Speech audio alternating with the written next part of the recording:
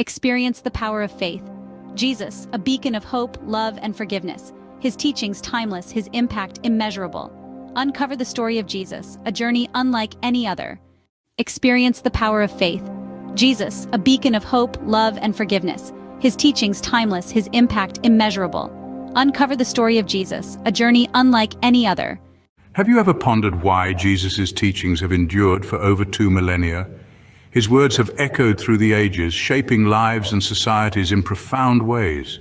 From the Golden Rule to the parables, his teachings have a universal appeal, transcending borders and time.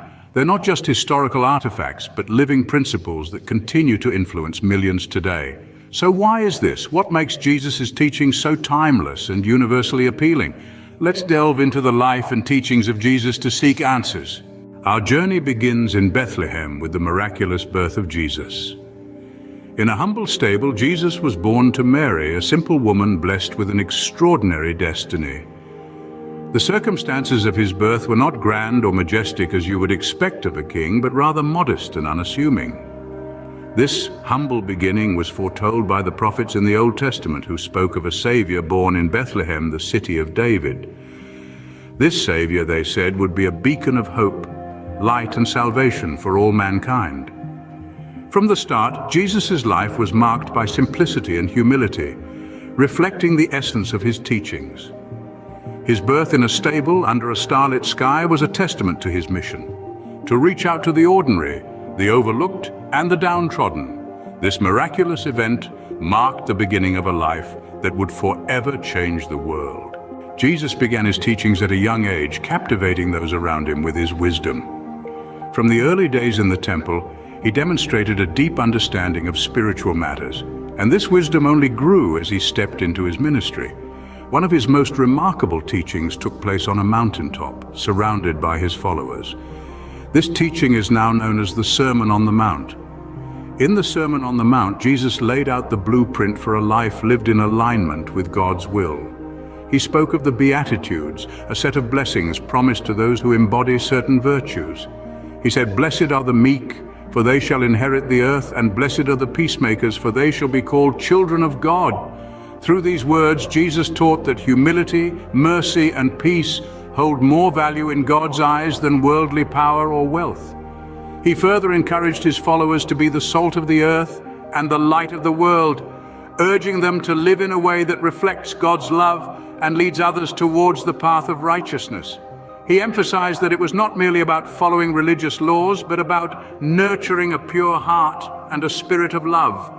A cornerstone of Jesus' teachings is the Golden Rule, which he expressed in a simple yet profound statement, do unto others as you would have them do unto you. This rule reflects the principle of empathy and mutual respect. It's a reminder that every individual deserves kindness, fairness, and dignity. Jesus taught that this rule applied to everyone, irrespective of their status, race, or religion, making it a universal guideline for ethical behavior. Above all, Jesus taught the commandment of love.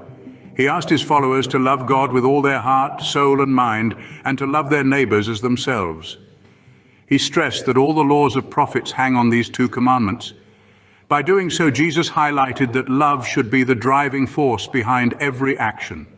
Love for God expressed through obedience and worship and love for others, demonstrated through acts of kindness, generosity, and forgiveness. These teachings of Jesus hold a timeless relevance. They offer a moral compass, guiding us in making ethical decisions. They encourage us to seek inner transformation, to cultivate virtues like humility, compassion, and peacemaking. They remind us of the power of love, the importance of treating others with respect, and the joy of living in harmony with God's will. These teachings have been a source of inspiration for millions around the world. They have influenced countless acts of kindness, sparked movements for justice and peace, and transformed lives in profound ways. They have been interpreted and reinterpreted across cultures and epochs, finding resonance with people from diverse walks of life. Even today, these teachings continue to offer guidance and solace. They serve as a beacon of hope, a source of comfort, and a call to action.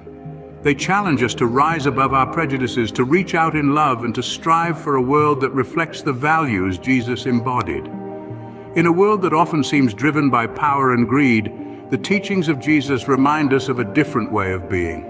They invite us to imagine a world driven by love and compassion, a world where each individual is valued and where peace and justice prevail. These teachings, filled with wisdom and compassion, continue to guide millions around the globe. Along with his teachings, Jesus performed miracles that astounded those who witnessed them. These miracles were not simply displays of divine power, but they also carried messages and teachings that resonated deeply with the people he encountered. Let's consider the miracles of healing. Jesus healed many people of their physical ailments, from blindness to leprosy, paralysis to fever. But these weren't just physical healings, they were also symbols of spiritual restoration. When Jesus healed, he often forgave the person's sins, demonstrating that the healing of the soul was just as important, if not more so, than the healing of the body. Then we have the miracle of feeding the multitude. With only five loaves of bread and two fish, Jesus fed a crowd of over 5,000. This miracle was not only a testament to his divine power, but also a message of sharing and generosity.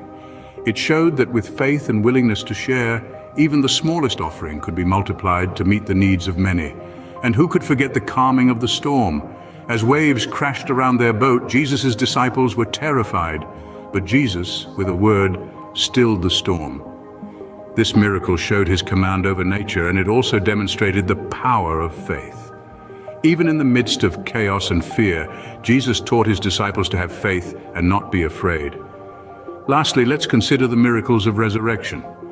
Jesus raised several people from the dead, including Lazarus, Jairus' daughter, and the son of a widow in Nain. These miracles affirmed his power over life and death, but they also carried a profound message of hope. In Jesus, death was not the end. He promised eternal life to those who believed in him, a promise made even more credible by these miraculous resurrections. These miracles had a deep impact on both his followers and skeptics alike. They were undeniable demonstrations of his divine power, which led many to believe in him.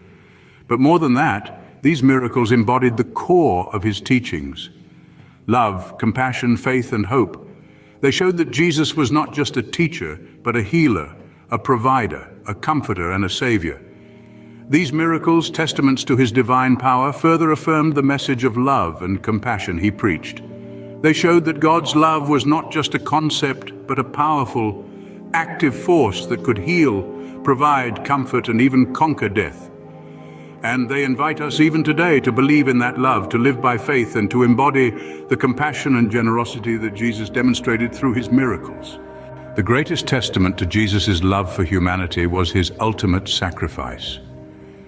This truth echoes through the annals of time, reverberating in the hearts of millions who have found solace in the narrative of Jesus' crucifixion. It's a story that, while marked by pain and betrayal, shines with the radiant light of divine love and forgiveness.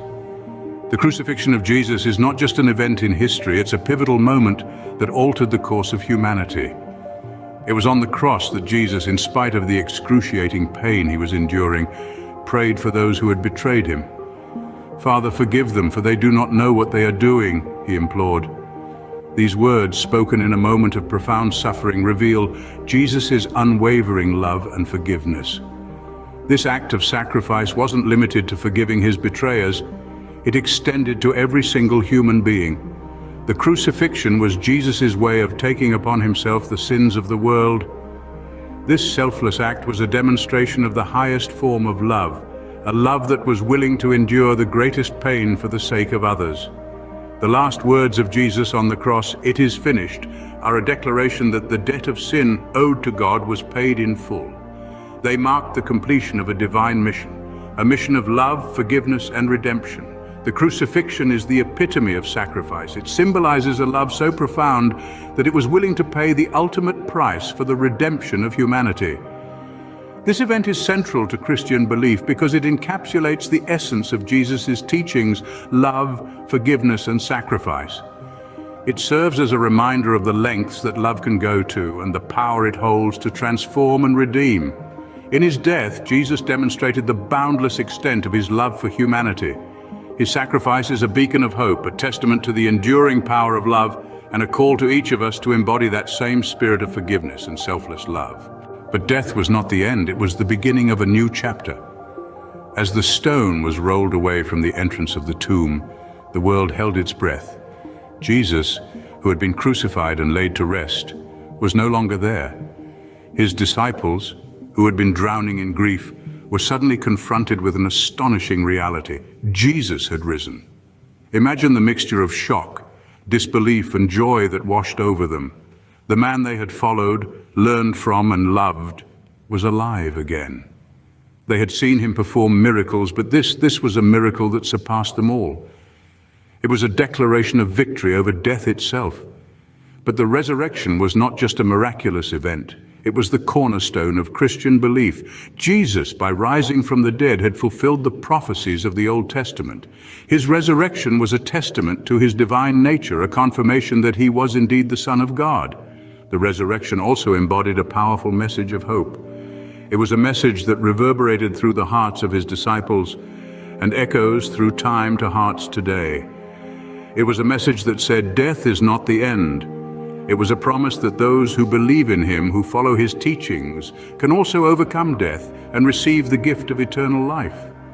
This event, this miraculous resurrection, took the teachings of Jesus and amplified them. It gave weight to his words, credibility to his claims, and ignited a spark of hope that continues to light the path for millions of Christians around the world today. Through his resurrection, Jesus didn't just defy the laws of nature, he challenged the very concept of finality. He showed us that endings can be beginnings and that out of despair can come hope. He demonstrated that love is stronger than death and that faith can move mountains. Through his resurrection, Jesus presented a beacon of hope promising eternal life to those who believe. Opening. Over 2,000 years have passed, yet the legacy of Jesus continues to thrive. As the sun rises and sets, the teachings of Jesus remain a beacon of light in our world. His words have not only shaped individual lives, but have profoundly influenced various aspects of society from art and culture to philosophy and law. Think about it, when we look at the world of art, we find countless masterpieces inspired by Jesus and his teachings. From the awe-inspiring frescoes of the Sistine Chapel to the poignant melodies of Handel's Messiah, Jesus' life and message have provided boundless inspiration to artists across the centuries. His teachings have also left an indelible mark on our culture and philosophy. Concepts like love thy neighbor, turn the other cheek, and the idea of forgiveness have seeped into the very fabric of our societies, encouraging us to strive for compassion, empathy, and understanding. They have become guiding principles that many of us try to live by, regardless of our religious beliefs. Moreover, the influence of Jesus' teachings extends to our legal systems. The principles of justice, mercy, and equality that Jesus espoused have been foundational in shaping laws and judicial philosophies in many societies. Now let's consider the growth of Christianity. Starting from a small group of followers in a corner of the Roman Empire, Christianity has grown to become one of the world's largest religions, embraced by billions this growth is a testament to the enduring power and relevance of Jesus' teachings. In our modern times, amidst rapid technological advances and changing societal norms, the teachings of Jesus remain a source of guidance, comfort and inspiration. They remind us of the importance of love, kindness and forgiveness in an often tumultuous world. They encourage us to reach out to the marginalized, to stand for justice and to strive for peace. In a world where we are constantly bombarded with messages of division and strife, the message of Jesus serves as a beacon of unity and love. His teachings challenge us to look beyond our differences, to see the inherent worth and dignity of every individual, and to strive for a world marked by justice, compassion, and peace. Closing the life and teachings of Jesus, filled with love, compassion, and sacrifice, continue to guide and inspire millions around the world. And it is this legacy, this enduring influence, that makes Jesus not just a figure of the past, but a guiding light for the present and the future.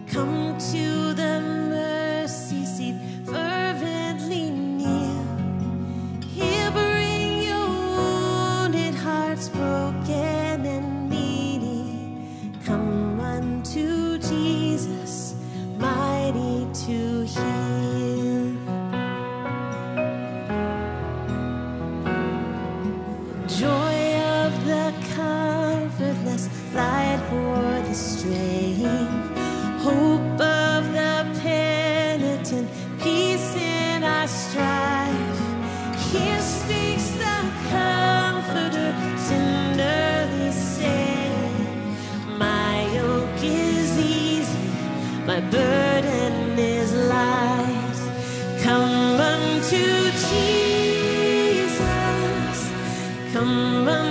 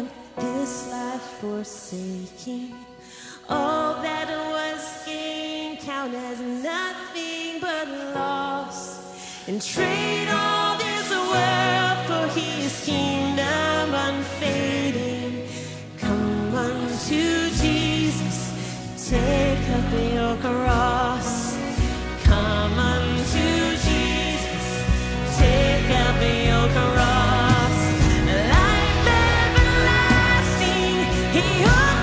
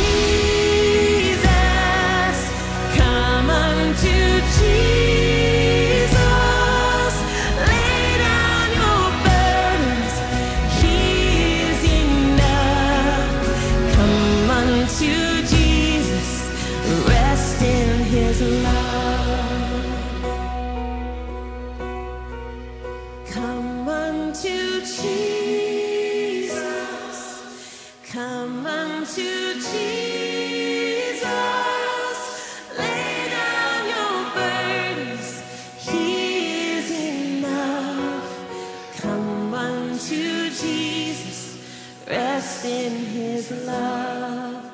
Come unto Jesus. Rest in his love.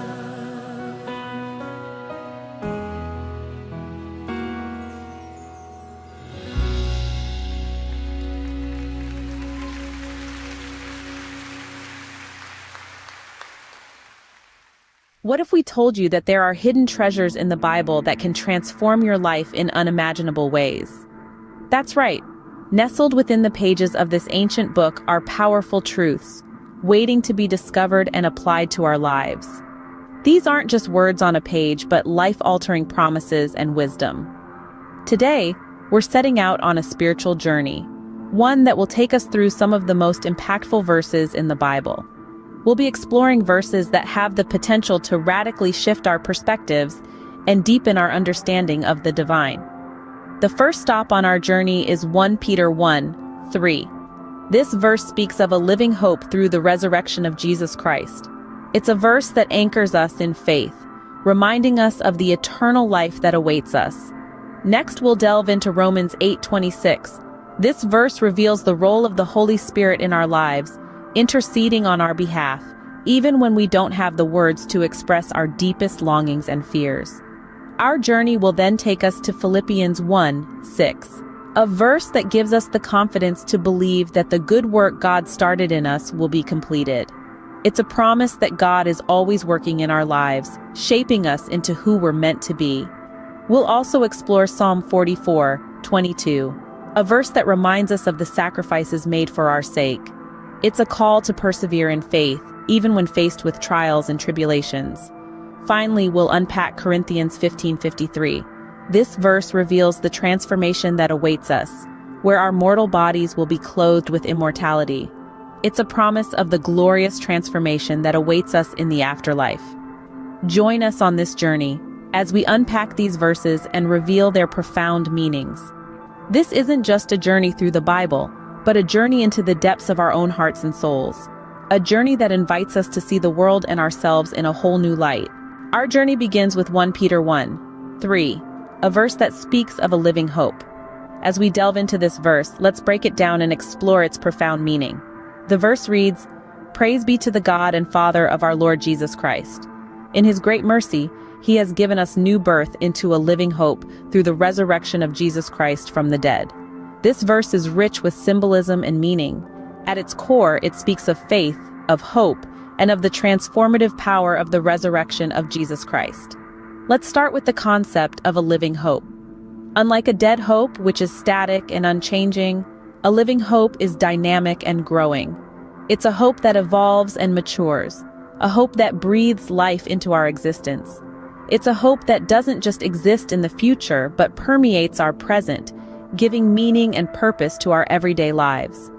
This living hope is born out of the resurrection of Jesus Christ. The resurrection is a powerful symbol of transformation and rebirth. It's a sign of God's great mercy, a testament to his love for us. And it's through this act of love, through the resurrection of Christ, that we are given new birth into a living hope, but this verse isn't just about hope and resurrection. It's also about faith. It's about believing in the promise of a better tomorrow, in the promise of eternal life. It's about trusting in God's plan for us, even when the path isn't clear. Faith, hope, resurrection. These are the threads that weave together to form the tapestry of 1 Peter 1, 3. Each one is significant on its own, but together they form a powerful testament to God's love and mercy. So this verse reminds us of our living hope in Christ, a hope that breathes life into our everyday existence.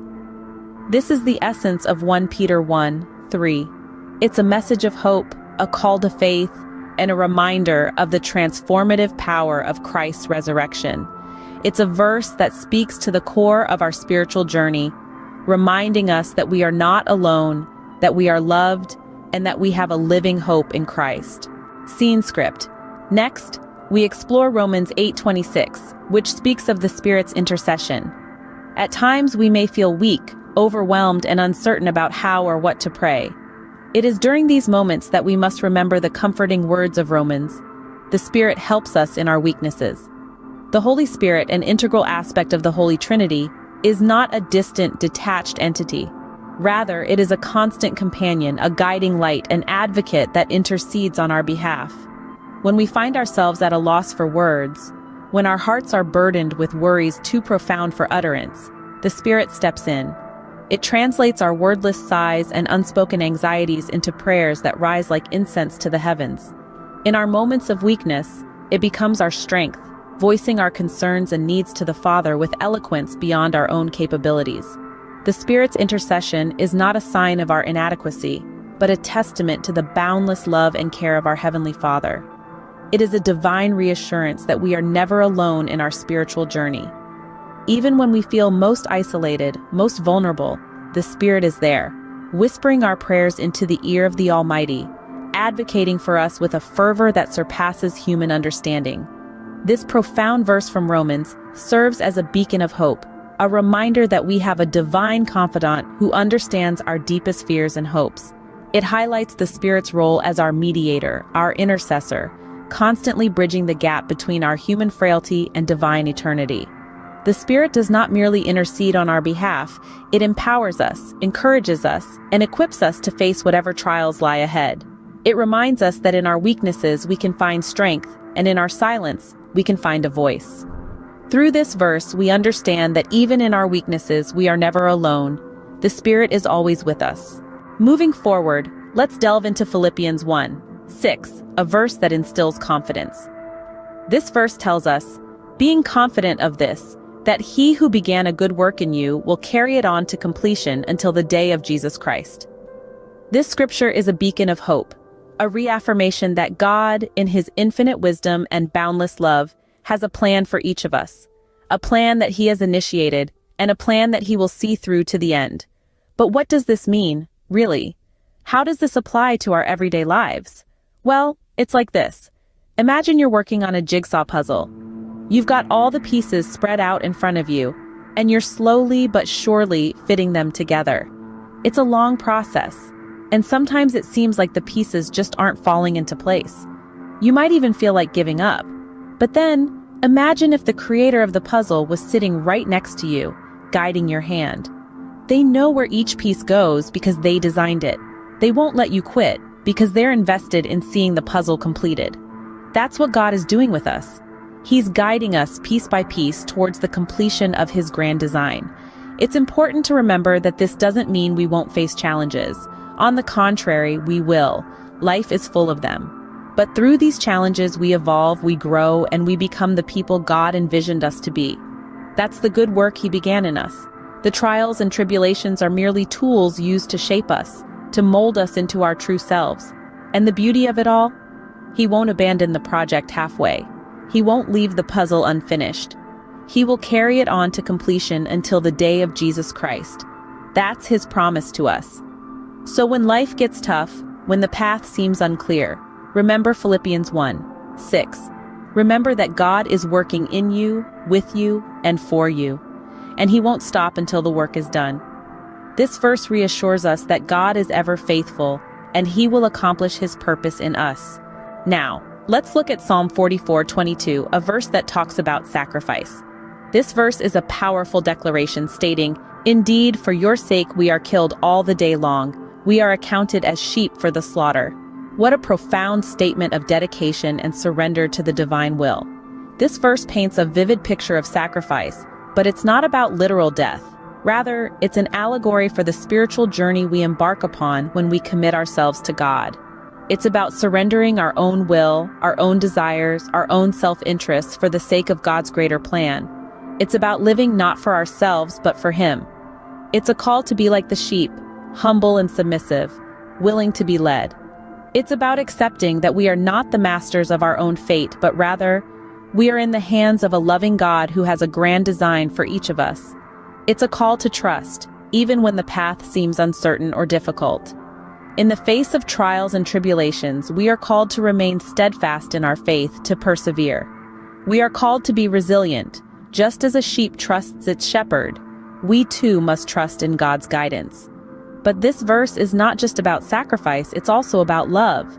The kind of love that is selfless and uncompromising. The kind of love that God has for us and the kind of love we are called to have for Him. It's a love that is willing to sacrifice, to give, and to endure, all for the sake of the beloved. And so, as we reflect on this verse, let's remember that it's not about the hardship or the struggle, but rather, it's about the love and the surrender. It's about being willing to be led, to trust, and to surrender our lives for the sake of His divine plan. Through this verse, we are reminded of our calling to live sacrificially for the sake of God. Let's carry this message in our hearts as we continue on our spiritual journey. Lastly, we examine Corinthians 15:53, a verse that speaks of mortality being swallowed up in life.